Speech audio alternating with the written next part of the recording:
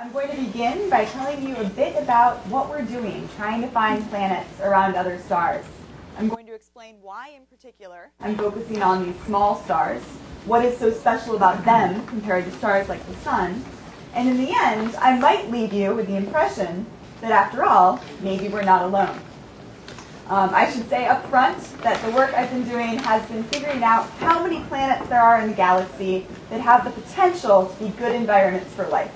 We have not found any life elsewhere, but we're trying to find good habitats for life that is similar to life on Earth. To begin, as many of you know, we're looking very hard to try to find planets orbiting other stars.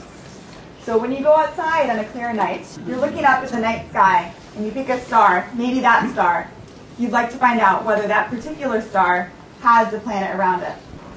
In an ideal world, what you could do is take a snapshot and perhaps see planets orbiting the star. But in actuality, many planets are actually very faint compared to the star. So this is a tricky proposition. In fact, if you were to try to take an actual image of a planet orbiting a star, that would be like trying to image a firefly right next to a searchlight. So we can't do this in most cases. We have to rely on indirect ways to find planets. That means that we often detect planets around a star by noticing that as the planet orbits the star, the star gets a little dimmer every once in a while if the planet crosses in front of the star. Or maybe we look at the star and realize that every once in a while the light is a little bit redder or a little bit bluer. Just as if you stand on the sidewalk and an ambulance drives by, you hear the sound of the ambulance change depending on where it is. I don't have time today to talk about all of these planet detection methods, but there was a wonderful lecture last month about the NASA Kepler mission, and I encourage all of you to check it out online on the Public Observing Night website to learn more about how the Kepler mission finds planets and their discoveries. To move on to habitable planets, when you think of trying to find life on other worlds, the picture that Hollywood leaves you with is this life that looks an awful lot like humans wearing disguises and perhaps maybe some funny noses and funny ears. But at the end of the day, these aliens look a little bit too human like for the comfort of most scientists.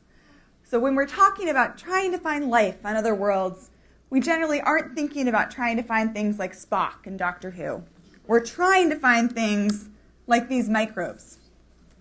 These might seem small and unimportant, but all of these creatures have influenced the atmosphere of the Earth in some unique way. As life exists on a planet, it's using resources and then producing waste, and all of those chemical reactions and metabolic reactions actually change the, plant, the organism's environment. So if we were looking at another copy of the Earth from our Earth, and we had very good technology, we could figure out that there was life on the Earth.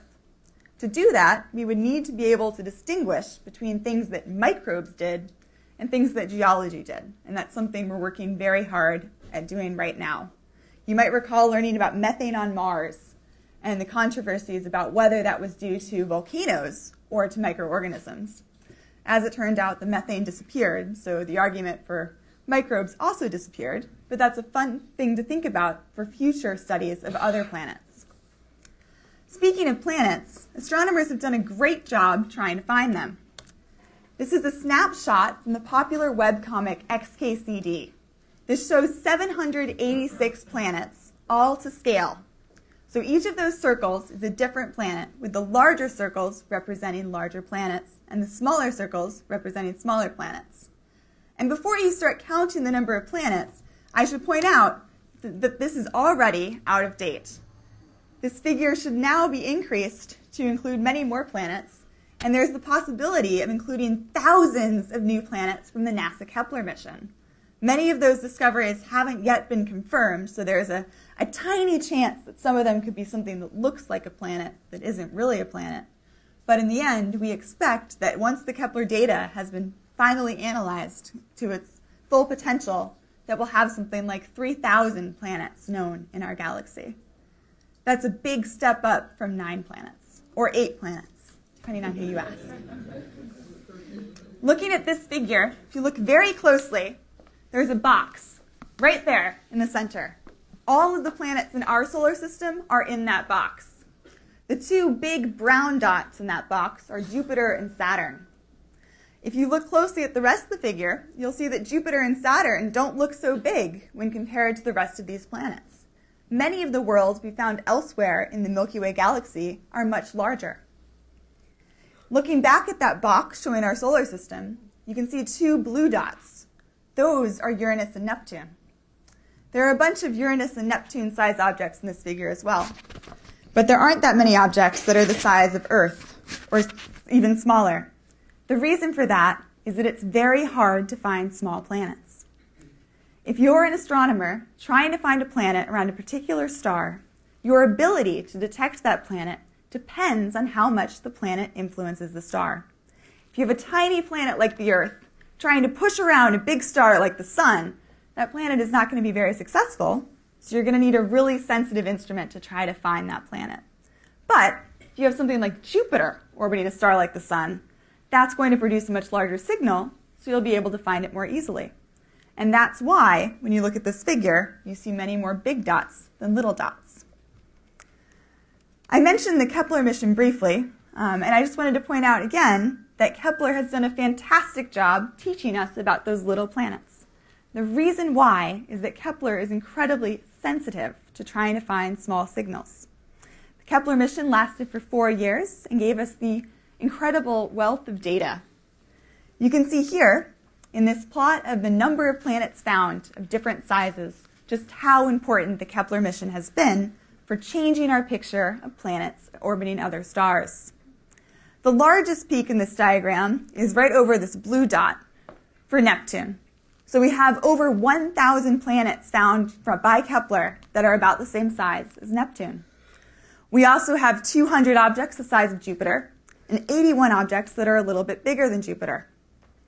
That fall off here, where you have fewer Jupiters than Neptunes, is real. On the other side, though, where we only have 351 Earth-sized planets, that doesn't mean that the Earths are less common. That just means that they're harder to find.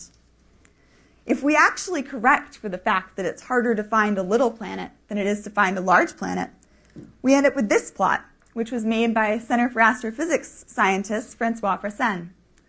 Francois corrected for how hard it is to find an Earth around a star. And he found that when he made that correction, he was able to plot up on the left side the fraction of stars that have a planet of a given size versus the size of the planet on the bottom. The leftmost column shows that one out of every six stars has a planet the size of the Earth. That's a lot of Earth sized planets. And it's very exciting if you're trying to think about the number of planets in the Milky Way galaxy that could possibly support life. To answer that question, though, we need to think about more than just the size of a planet. We need to figure out what exactly makes a planet habitable. And if we do that, we can then answer the question how common are habitable planets? Is it really just only the Earth in the entire Milky Way galaxy? Or is it something more like this, where the Milky Way galaxy is filled to the brim with possible habit- habitats for life? In order to answer the question, we need a definition of a habitable planet. There are many different ways to think about habitability, but the one that appeals to me most is to try to think about a habitable planet that we could figure out was habitable without actually having to travel there. In our own solar system, we know that there could be water in the subsurface oceans of the icy moons of Jupiter and Saturn. But in order to detect that life, we would need to send probes to those moons. And that's hard to do in our own solar system, and with current technology, it's impossible to do in a distant solar system. So for now, astronomers tend to restrict their searches to planets that have liquid water on the surface. The reason for that is that we know that all life on Earth uses liquid water in some form or another. So we're going to infer that if we're trying to find life that we can recognize as life, maybe we should start with what we know and try to find life that does the same thing as life on Earth. In order to have liquid water on the surface of a planet, we have two requirements that we have to meet. The first is that we want to look for a rocky planet. We don't want to try to find something like Jupiter, because although Carl Sagan talked about the possibilities of having floaters in the atmospheres of Jupiter where maybe life could exist there, we don't know how we would detect that. So we're going to stick to try to find something that's rocky like Earth or maybe Mars. There's also a whole class of planets that doesn't exist in our solar system. Those are the things called super Earths. They're intermediate in size between Earth and Neptune, and we're pretty sure that at least for objects that are less than about twice the size of Earth, they might be rocky. And those might be great places to look for life. Above about two times the size of Earth, we think planets are probably more like Neptune than they are like Earth. So that sets one criterion for us. We'd like to find a planet that's two times the size of the Earth or smaller. The second requirement for a habitable planet is we want something that's the right temperature for liquid water to exist on the surface. We don't want to pl- find a planet that is as hot as Mercury, because then all the water would have evaporated. We also don't want to find something that's so cold that all of the water would be frozen. Now that we've established our two criteria, that we want something small and we want something the right temperature, we can look at the Kepler planet candidates and see if any of them match our criteria. I'm going to show you a plot now of all of the Kepler planet candidates. And the reason why they're candidates is because we still need to go through that final step of making sure that these are actually planets. But I'm going to promise you that 80 to 90% of these objects will end up being planets in the end. We're pretty sure about that because we know what sorts of false positives we expect to find. So what I'll show you is on the left side, how big is the planet compared to the Earth? And on the bottom, how far away is that planet from its star in units of the distance of Earth from the Sun. These are all the planet candidates. It's a remarkable number of objects. You might be a little bit alarmed that there aren't any planet candidates below this purple line. The reason for that is that it's just very hard to find small planets in long orbital periods where they only cross in front of the star once every year or so. So we're not very complete in this region.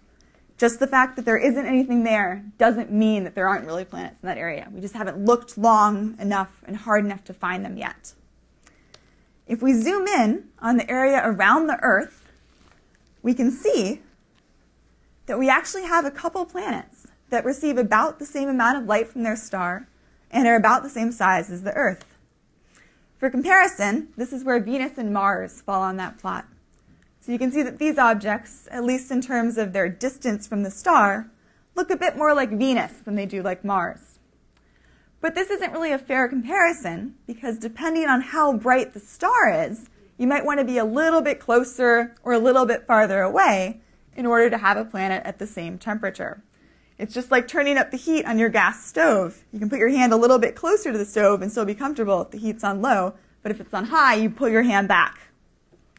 So in order to think about this on more equal footing for stars with different brightnesses, we like to talk about the concept of the habitable zone. This is our solar system, shown not to scale, with the rocky planets close in, the gas giants further out, and just for fun, you have Pluto on there as well. If we then figure out where we would like to live in this solar system, we could draw a green ring like this. And this habitable zone, also known as the Goldilocks zone, for the story of Goldilocks and Three Bears, is the distance from the star at which you could have liquid water on the surface of the planet. Anything inside that habitable zone, like Mercury and Venus, would be too hot to have liquid water. Anything outside, like Mars and Jupiter, would be too cold.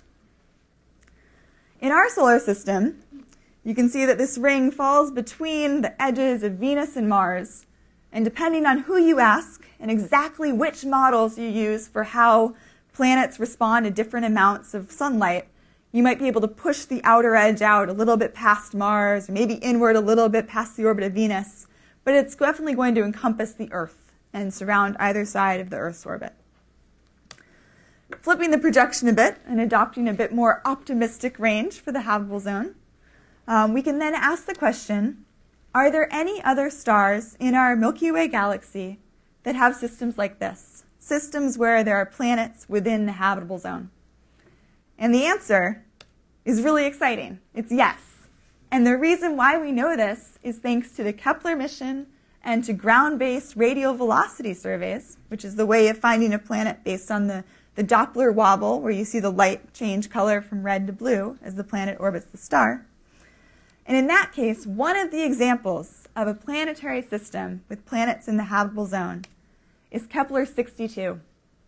This star has two planets, Kepler 62f and 62e, in the habitable zone.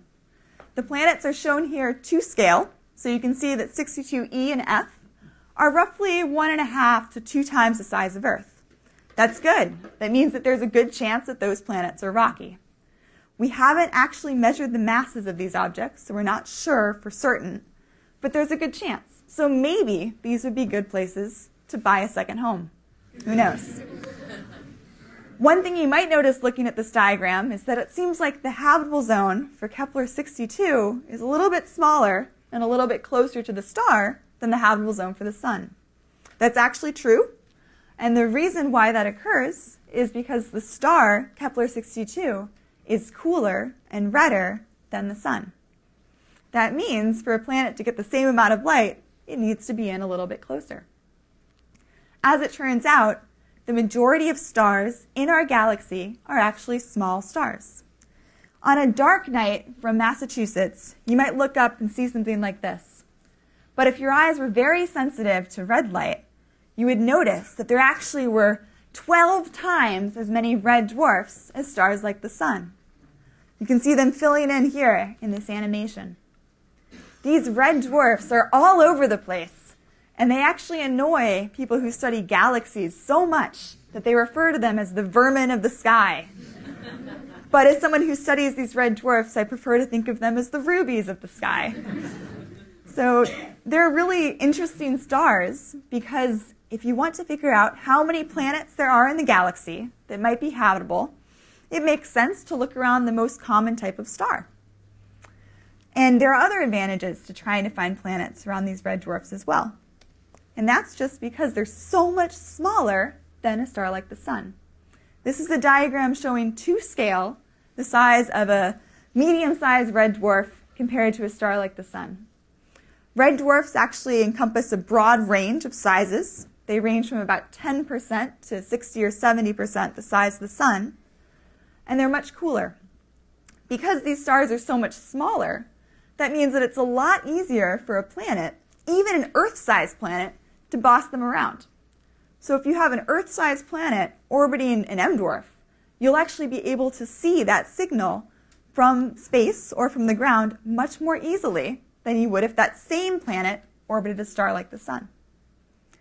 Another reason why I like to look for planets around these red dwarfs is that their habitable zones are much closer in. This is to scale the habitable zone of a sun-like star. If we throw up a red dwarf, though, you can see that the habitable zone is much, much closer in.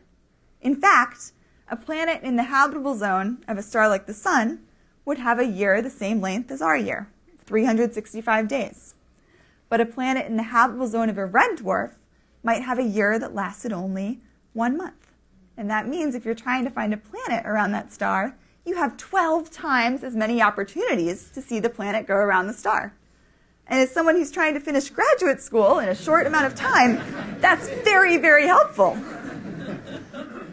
So, all of these reasons make the red dwarfs look like very attractive places to look for planets. But there's something else to consider, which is we live around a sun-like star, so we know a lot about what it's like to live around a sun-like star. But what would it be like to live around a red dwarf? Would things be different? Would it be irritating? Are there things about red dwarfs that make them good or bad places to live? And as it turns out, it's kind of a mixed bag. One of the things to notice about red dwarf planets is that they can sometimes be tidally locked. When we look up at the moon from Earth, we always see the same face of the moon. And for certain planets orbiting red dwarfs, the same face of the planet might always face the star. There are exceptions. You could have a planet that has other planets in the system, so maybe it would be in an orbit like Mercury's, where it's not quite the same face all the time, but it just rotates very slowly as it revolves around the star. Assuming, though, that you have one face of the planet always facing the star, which could happen for a large number of these habitable zone M dwarf planets, then you would have to have serious discussions about where you'd like to live.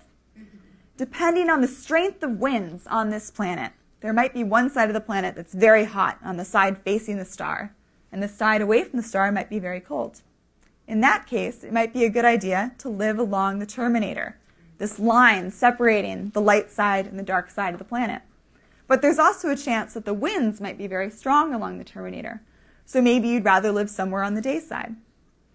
Of course, you could also change how much atmosphere the planet has. If it has a very thick, sluggish atmosphere that doesn't really have that many winds, the climate will be very different than a planet that has winds that are whipping around every day very quickly.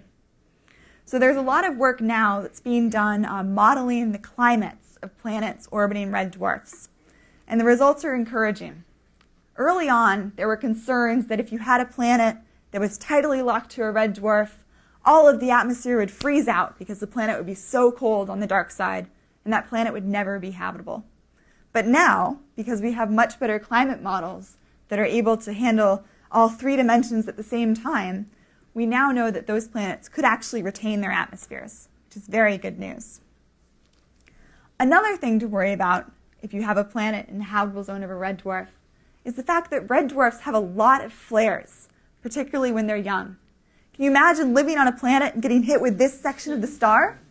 That would be a major telecommunications failure. And for early life, that could actually be problematic if you have DNA or the equivalent of this alien organism's DNA getting damaged by ultraviolet radiation.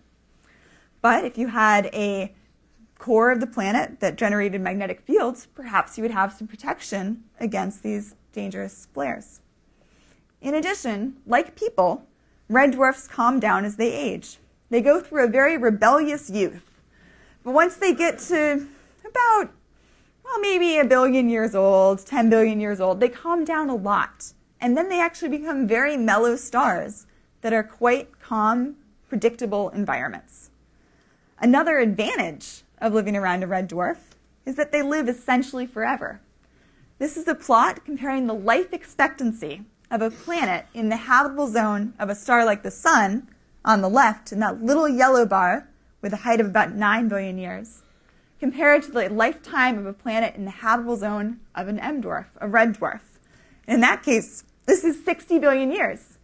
That's much longer than the age of the universe. There are red dwarfs that were born at the beginning of the universe that are still alive now. They haven't even reached middle age. The reason for that is that these stars are very small. They mix completely. They don't just use part of their fuel, they use everything that they're born with, and they use it at a very slow rate. They're really, if you think about it, the story of the tortoise and the hare, the M dwarfs are definitely the tortoises. And they might win in the end, too. So that brings me to the next section of my talk, uh, which is speaking more about the work that I did last year with Professor David Charbonneau, focusing on the planets orbiting the M dwarfs in the Kepler sample. I'm going to show you now a plot of all of the M dwarf planet candidates and talk about which of them might be good places to live. On the bottom, I'm going to show you how much light each of the planets receives. Here, the star is on the right side of the plot. So objects that are close to the star, like Mercury, would fall here at about 10 times the amount of light received by the Earth. Objects like Venus fall there. Earth-like objects get one times the amount of flux that the Earth receives. And then things like Mars would be on the left side of the plot. So things on the left side are planets that don't get that much light. Things on the right side get a lot of light because they're close to the star. On the left side, this is showing how big the planets are. So a true Earth analog would be right here. So watch that space and see if anything pops up. These are 95 planets orbiting Kepler M dwarfs. And if I remove those color guides now and add in the habitable zone instead, you can see that we found that three of our 95 planets received the right amount of light to have liquid water on their surfaces. Of those three objects, two are very similar in size to the Earth, and one is just a little bit bigger than one and a half times the size of Earth. So all three meet the criteria for things that are likely to be rocky and the right temperature to have liquid water. As part of our study, we looked at all of the red dwarfs in the Kepler sample. There are about 4,000 of them. And we figured out for each of those 4,000 stars how well did we look for planets? Would we have found a planet that was two Earth radii or one Earth radius, that went around the star once a month or once a year? And we were then able to figure out how we could convert our number of detected planets in the habitable zone into the fraction of stars that host potentially habitable planets. The number we found was that 15% of red dwarfs host Earth like planets, whereby Earth like, we mean a planet that could potentially be habitable. Recently, Dave and I have been updating this calculation. We're using another year and a half of Kepler data, and we're also using updated boundaries for the habitable zone we now have much better predictions for how far away planets can be from stars in order to have liquid water on the surface. When we add all of that together, our number increases from 15% to 50%, um, which is a number that I find very exciting because it means that one out of every two red dwarfs has a potentially habitable small planet. And there are lots of red dwarfs in the galaxy. A common topic when discussing the possibility of finding life elsewhere in the universe is the Drake equation. This equation is a way of estimating the number of intelligent, communicating civilizations. And depending on whether you think alien life is likely to be intelligent or interested in communicating with us, you can chop off the equation at whatever point you'd like. Um, so to begin, Frank Drake estimated the number of stars in the galaxy this is something that we can go out and measure fairly well. This is a known quantity. The next term in this equation is multiplying the number of stars by the fraction of those stars that have planets. Back in the 1960s, when the Drake equation was proposed, F sub p was completely unknown. We knew in our solar system that we have one star and that star has planets, so maybe it was one. But maybe the sun was the only star with planets, so maybe it was a very small number.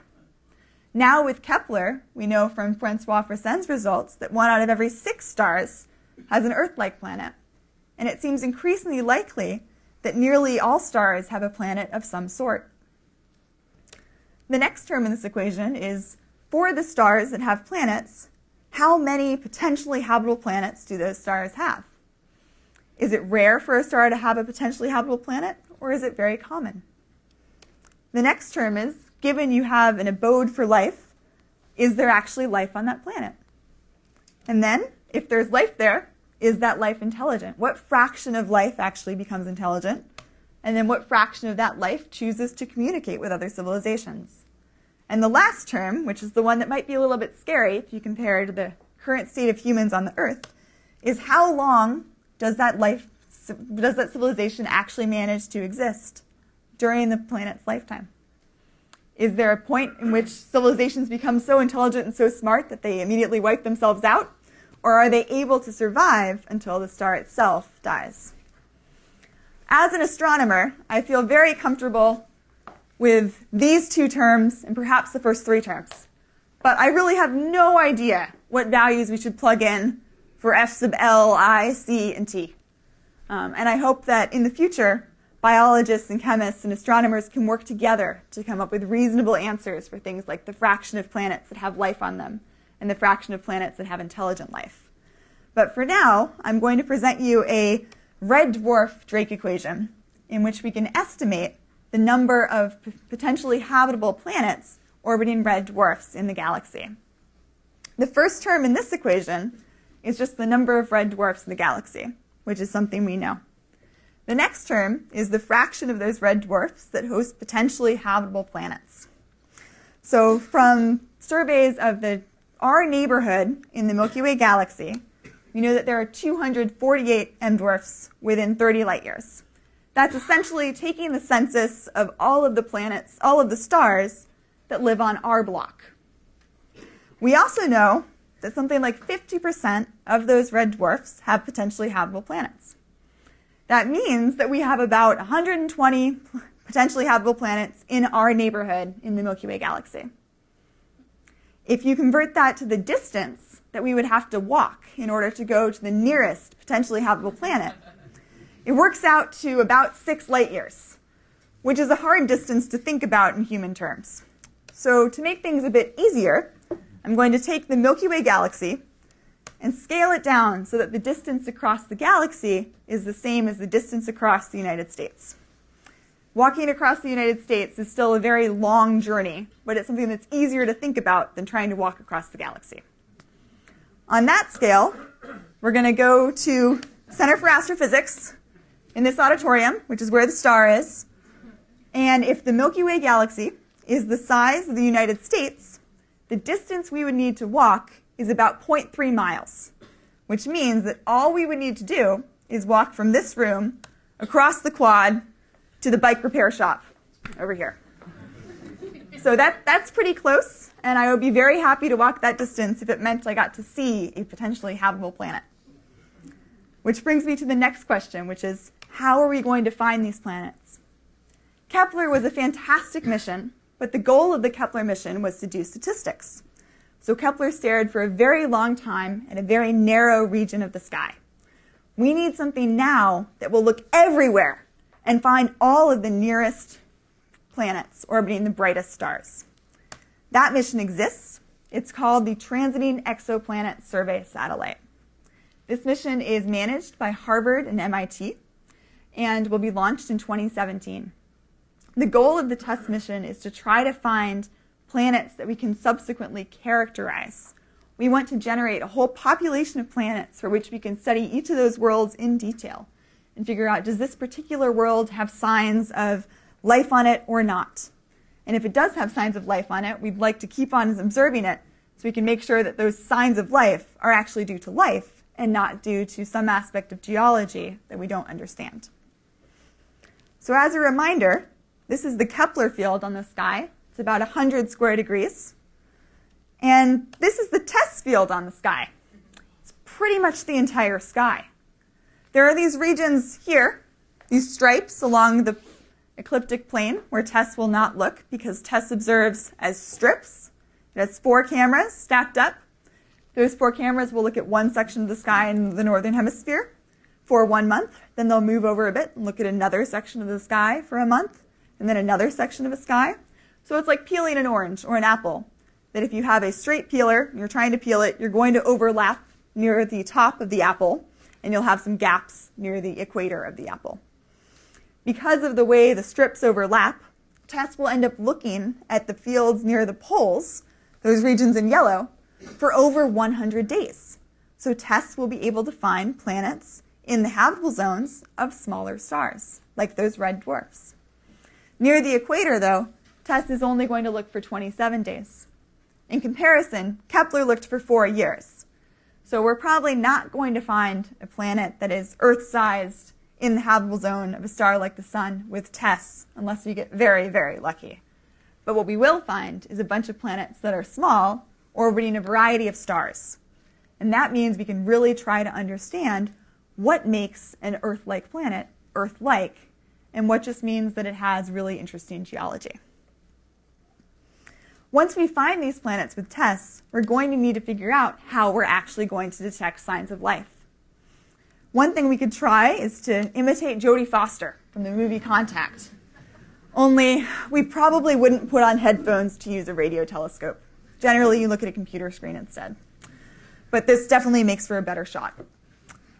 There are people who are actually doing this. This is one example.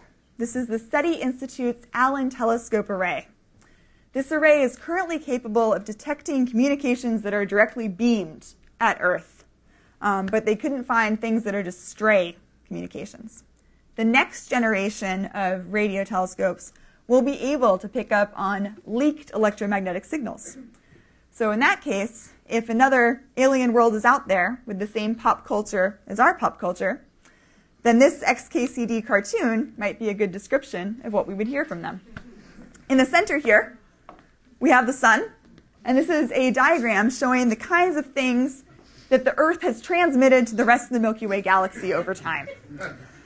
Because light travels at a finite speed, the civilizations, the planets closest to us, are more up to date.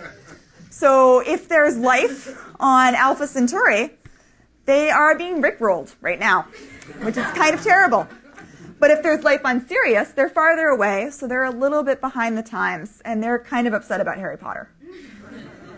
So this is definitely a funny figure, um, but it does drive home the point that if there are intelligent communicating civilizations out there, perhaps we're going to pick up on some of their bad reality TV programming in the distant future. In the meantime, though, there's probably less communicated, less talkative life is probably the kind of life we're most likely to detect. So in that case, if we can't guarantee that there's some alien civilization out there with radio programming and television shows, how are we ever going to try to find them? One thing we could do is to pay very, very close attention when the planet crosses in front of the star. So here is a schematic showing a transiting planet, that dark disk crossing the surface of a star. As the planet crosses the star, if that planet has an atmosphere, which is the orange ring, some of the light from the star will pass through the planet's atmosphere. And anything in the planet's atmosphere, maybe oxygen or carbon dioxide, will leave a fingerprint on that light. And that means that we will be able to tell what's in the planet's atmosphere. Here's another way of looking at that. On the left, you have a star. Starlight is being transmitted through the atmosphere of the planet. And then an astronomer takes a prism or a spectrograph to split up that light into a rainbow. And this feature right here is due to something in the atmosphere of a planet. In this diagram, this is a sodium feature, but in the case of trying to find life, we might look for something different. We might look for signs of water, for instance. On Earth, we know that plants appear green to our eyes, so maybe we could try to look for signs of vegetation as a possible fingerprint for life. If we had infrared sensitive eyes, we would see that the plants are also very, very bright in infrared wavelengths. That's because plants reflect a lot of light at green wavelengths and infrared wavelengths. If we were then to construct a plot showing how bright plants look at different colors of light, we would be able to tell right here that there is a large jump where here we have green light and over here we have infrared light. And all of a sudden, things get much brighter where the reflectivity jumps up. That feature is called the red edge, and it's due to vegetation. So we could try to look for that on other worlds. We could also try to look for this feature here, which is a bump in the reflectivity due to chlorophyll. This might seem a little bit Earth specific, because how do we know that we would expect to see similar features on other planets? But it's a good starting point. And astronomers are working hard now with simulations to try to see what the Earth looks like at different times of year assuming that you're looking at different portions of the Earth and that your instruments are varying levels of quality. Another thing you could do to test your ability to differentiate between worlds with life and worlds without life is to compare what you see in the atmosphere of the Earth to the atmospheres of other planets in our solar system. In this case, for the Earth, if you look at a plot of how bright the Earth appears to be versus the color of light, you can see little dips corresponding to ozone and water and carbon dioxide. However, if you were to make this plot for Venus, you would just see a dip for carbon dioxide. No ozone, no water. The same thing is true for Mars. So perhaps seeing the combination of water, ozone, and carbon dioxide tells you that there might be life on a particular planet. This requires lots of modeling to make sure that you're actually seeing a real signal that could only be explained by life instead of by a combination of other factors, but it's an active area of research. We need new instruments in order to get these data, though, for other planets. And there are a couple things on the horizon for how we're going to try to get these measurements for planets orbiting other stars. One of those missions is the James Webb Space Telescope. This instrument is being built right now and should be launched by the end of the decade. This is a scale model on the lower left, showing only a small fraction of the people who've actually helped with this mission. James Webb uh, will be in space, and it has this big shield on the bottom to try to keep it cold because it's going to do a very good job looking at the atmospheres of planets. James Webb will also teach us about other areas of astrophysics. Another area in which we'll be able to learn a lot more about small planets in the future is by using large telescopes on the ground. These large telescopes collect much more light than the current generation of telescopes. The current large telescopes used by professional astronomers are about 30 feet across. The next generation will be close to 100 feet across. It's a huge telescope. There are three possible designs for this next generation of telescopes. One of them is the 30 meter telescope. Another is the European Extremely Large Telescope, which is quite a creative name. Both of them are very creative. Um, and my personal favorite is the Giant Magellan Telescope, which is the project that Harvard and the Smithsonian are helping to build. The reason why we want such a large telescope is that increasing the size of your telescope increases your ability to collect light, which means that you're better able to study things that are very small signals. In this case, one of these mirrors in the, G- in the GMT is the size of a current cutting edge large telescope. So this is an incredible improvement in our ability to measure the atmospheres of other planets. The Giant Magellan Telescope will also help us to find planets that are orbiting stars. Right now, it's shooting lasers off into the sky, which might seem very odd, but the reason why the GMT will do that is because if you're trying to look for very small signals, the fact that the atmosphere changes can be a problem. But if you shoot a laser up into a particular level of the atmosphere where there's lots of sodium atoms, you can actually measure how the atmosphere is distorting the light that you see because the, sodium, the laser will shoot up, hit something up there, and then bounce back down. And because you know what kind of signal you sent out, you can measure that you're then getting a fuzzy signal back, and you can correct the shape of your mirrors to compensate. So it's really remarkable technology. We have that available now in some large telescopes, but this is going to be a whole new regime when we have adaptive optics, which is what the laser system is called, operating on a 24 meter telescope. So, to summarize, there are three main points from today's talk. One of them is that small planets are common. Prior to the advent of exoplanet detection, we really didn't know if that was true. All we knew about planets was the planets in our own solar system. We knew that we had rocky planets close to the star and gas giants farther out. We had no idea whether this was common in the galaxy. The Earth might have been all alone, but now we know that most stars have planets. We also know that there are many potentially habitable planets in the solar neighborhood. We saw before that all we would need to do is walk across the quad to find the nearest potentially habitable planet, and that's a distance of six light years. The other thing I'd like you to remember from today's talk is that there are many interesting missions designed for the near future. Those missions will allow us to detect planets that are nearby orbiting bright stars. And with that population of planets, we're really going to be able to study them in detail and look for possible signs of life. I'd like to thank everybody who's been involved with this lecture series. And I also want to show you a video of what things would look like if all of the planets discovered by Kepler orbited a single star. This video was put together by Alex Parker, who's a scientist here. And we know that all of the Kepler planets orbit different stars, but this video is accurate in the sense that the planets are the sizes they should be and the time it takes them to orbit the star is actually to scale. On the bottom here, you might be able to see the time elapsing in days. Um, so right now we are 15 days in, so you're only seeing the very close-in planets. And as the video continues, we're going to move out, and you'll be able to see planets that orbit farther and farther away from their stars, more like the Earth's orbit around the sun. And thank you very much for your attention, and my apologies for the microphone problems.